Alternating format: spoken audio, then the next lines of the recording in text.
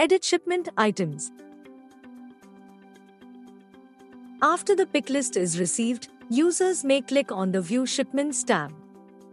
In the Not Started tab, there are some additional options in which users can see edit shipment items. Click on it and users will be able to make the item as not found or damaged. In case of damaged, the rejection reason becomes mandatory. Click on Submit. Users can now complete the shipment processing as normal. As it is clearly seen, in this shipment, the system invoiced the only item which was not marked as not found or damaged. The shipment will be moved to the Completed tab.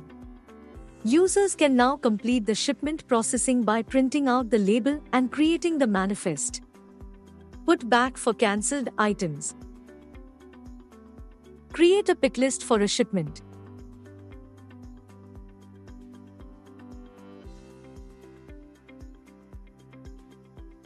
Receive the pick list and click on View Shipments.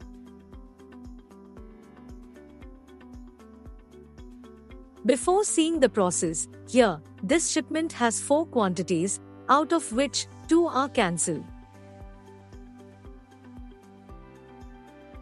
Users can now go back to the pick list and in the Not Started tab, click on Print Invoice. Users will be able to see the option to put back the items which are cancelled in the shipment. They can accept the putback. Once the putback is accepted, the invoice will be fetched out for the items which are not cancelled and the shipment will be moved to the completed tab.